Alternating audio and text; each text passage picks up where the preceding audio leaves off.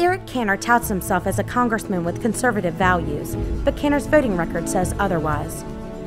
Over the last 10 years, Cantor helped grow the deficit under the leadership of both parties to unprecedented levels.